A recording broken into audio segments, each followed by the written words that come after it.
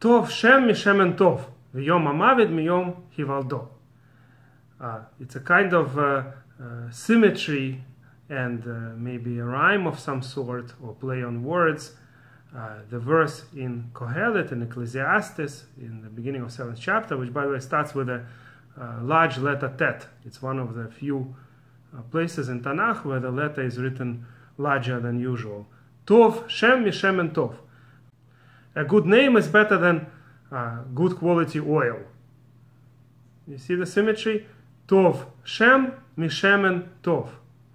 Right? The words Tov beginning and the end of this phrase, and then in the middle are Shem and Shemen, which sounds similar. Name and oil. The, be- the good name is better than a good oil. Um, and the day of death is better than the day when the person is born.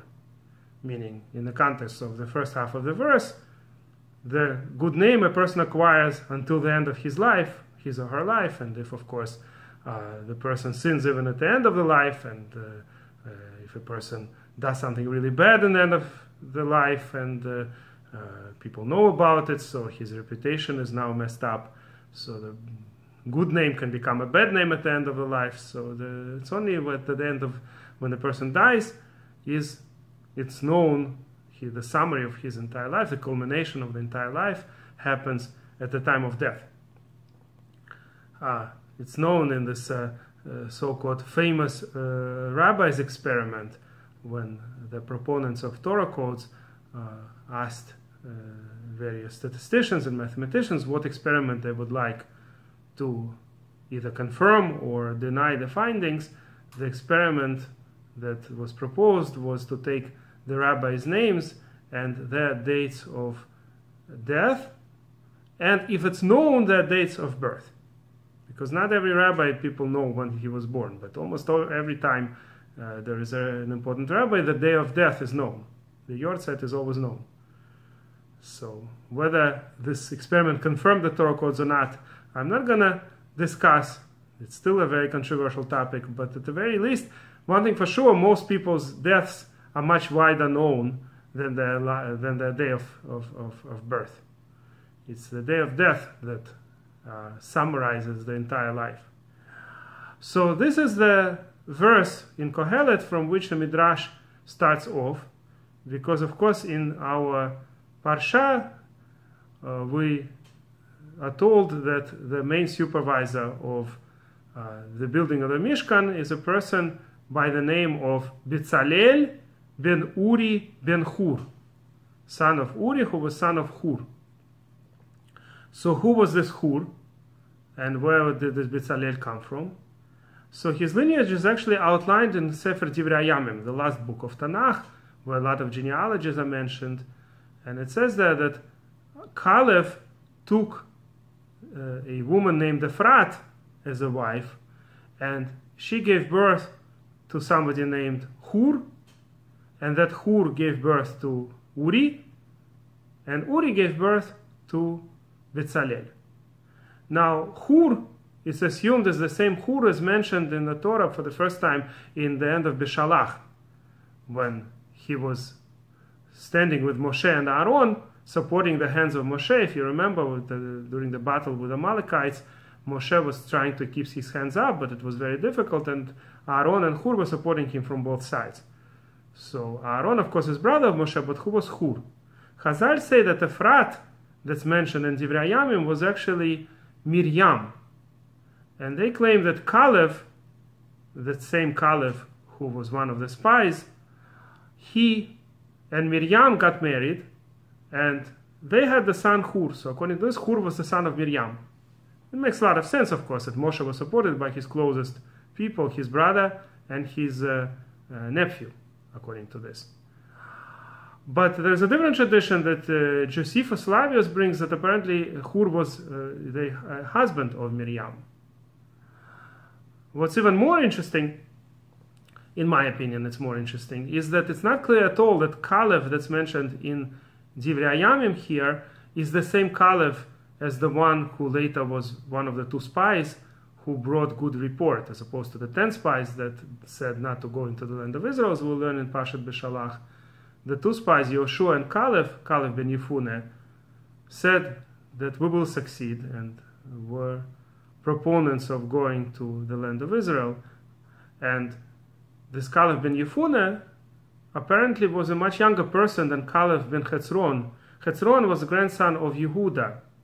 If you remember, Yehuda from Tamar had two children, uh, Peretz and Zerach. And from Peretz came Hetzron. And this Hetzron had Caleb. So this seems to be a person who was much older, who lived back in Egypt. And at some point, long time ago, uh, long before the exodus from Egypt, he took some woman named Ephrat, which according to Chazal was Miriam, and he, they had the child named Hur.